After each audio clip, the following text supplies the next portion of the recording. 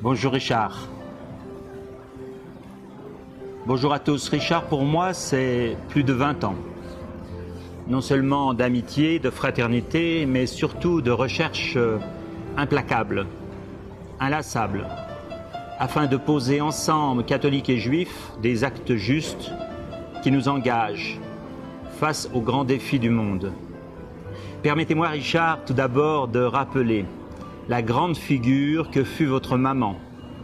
Son saint nom soit béni, Déborah. Je veux rappeler qui elle est, qui elle était, car, comme l'on dit, la pomme ne tombe pas très loin de l'arbre. Je me souviens d'elle notamment à Varsovie, au ghetto, à l'Umschlagplatz, en ce jour où Jean-Paul II devait rencontrer 53 personnalités juives sur le lieu même de la déportation des Juifs dans les trains. Elle n'était pas invitée, mais elle avait réussi à se faufiler dans la délégation en accompagnant une ministre. Et elle refusa d'obtempérer à deux reprises lorsqu'un policier polonais lui demanda de repartir. Et finalement, qui embrassa le pape Jean-Paul II lorsqu'il descendit de sa papa mobile, Madame Praskier? Je la revois aussi visitant avec son ami juif qu'elle avait sauvé pendant la guerre, le camp de Maïdanek. Mais surtout, quelle n'était pas la joie de Déborah et sa fierté lorsqu'assise au premier rang des rencontres judéo-chrétiennes européennes à l'hôtel de ville, alors que vous montiez Richard au pupitre pour prendre la parole, elle expliquait à qui voulait l'entendre en vous montrant du doigt C'est mon fils.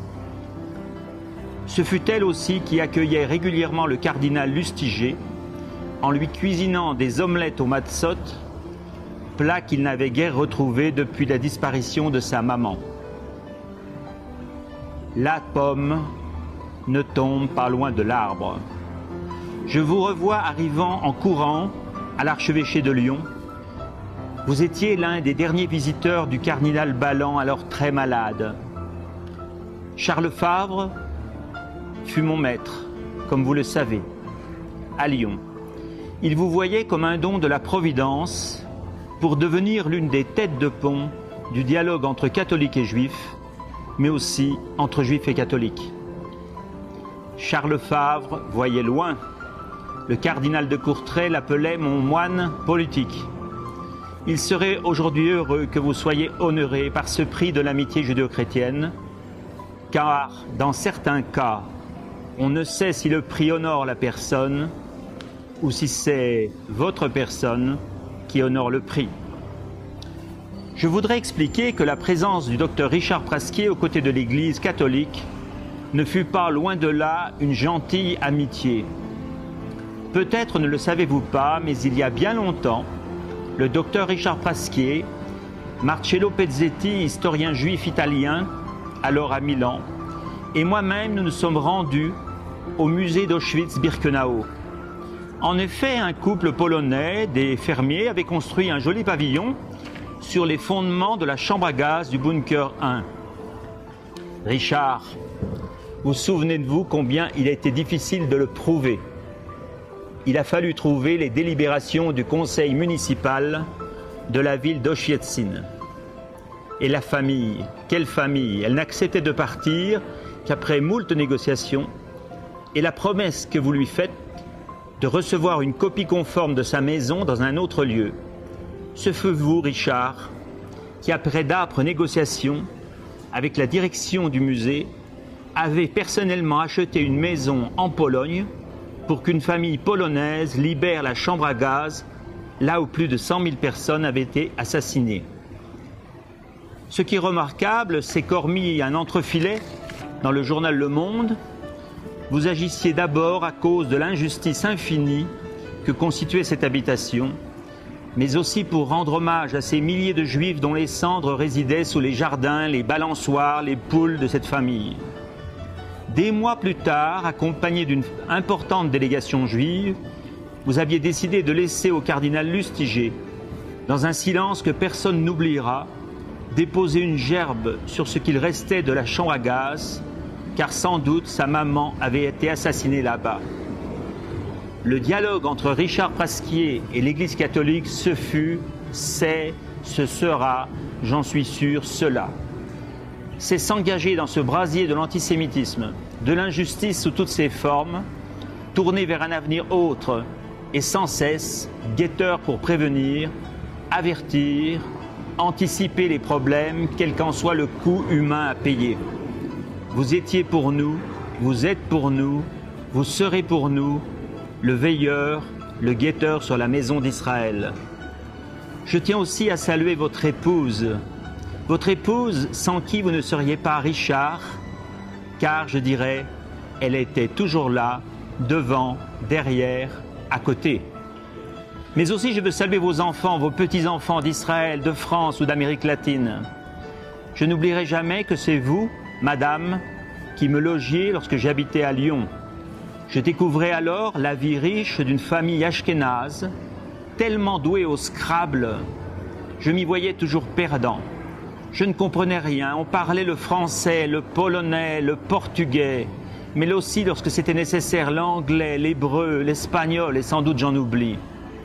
Madame, Monsieur, chers amis Prasquier, vous êtes des grandes figures humanistes qui avaient toujours lu le dernier ouvrage paru.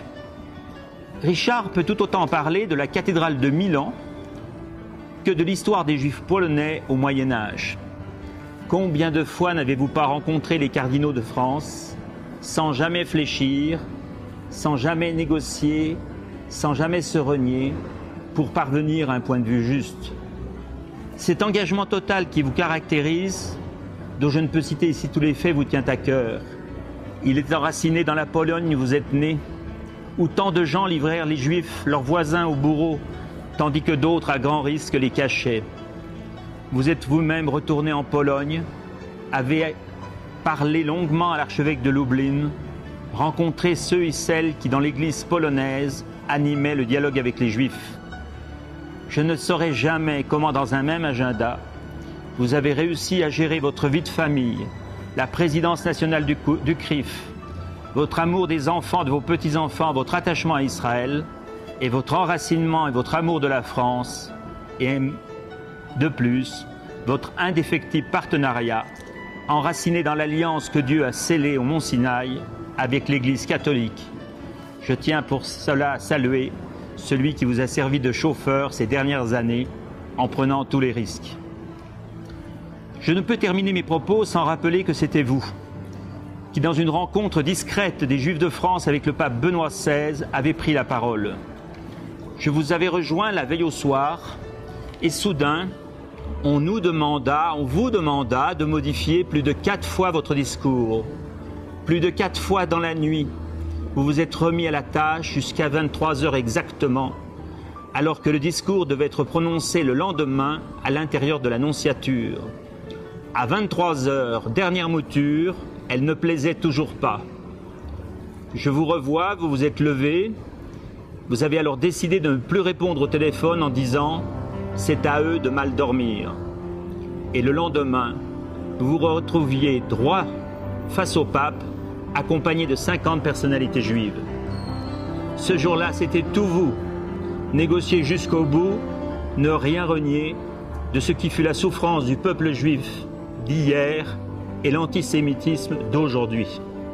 Au-delà de mon amitié, ou plutôt de ma fraternité, il n'est pas eu de semaine où nous ne sommes pas entretenus. Je voudrais vous dire un grand, grand merci à vous, à toute la famille et à votre maman. Et enfin, y compris dans ces relations, vous rester le docteur, attentif aux soins de l'humanité, conscient que l'antisémitisme est une maladie contagieuse et grave, mais vous êtes aussi cardiologue. Les relations judéo-chrétiennes, ce fut un soin. Mais cardiologue, vous êtes resté. Comment ne pas mentionner le jour où Jacqueline Cété fut hospitalisée en urgence à l'hôpital de Longjumeau et entra dans un coma qui nous faisait craindre le pire. Ce fut vous, docteur Prasquier, qui, alors en vacances dans un hôtel au Pérou, avez contacté moult fois le personnel des urgences pour accompagner non seulement le diagnostic, mais la remise sur pied de Jacqueline avec qui vous avez su garder une relation d'amitié et d'efficacité sans nul autre pareil. Votre fraternité avec l'Église est peut-être plus visible avec les cardinaux, mais elle l'est aussi avec les catholiques dans son ensemble, et je dirais plus largement avec les chrétiens et avec tout homme. Vous avez en effet reçu ce don de la charité qui fait que, où que l'on soit, quand tous vos malades, comme tous vos malades avaient votre numéro de portable, on vous entendait d'un coup dire Madame, appuyez à droite, plus loin. Bon, ce n'est pas grave. Prenez un demi-comprimé de plus, je vous verrai lundi.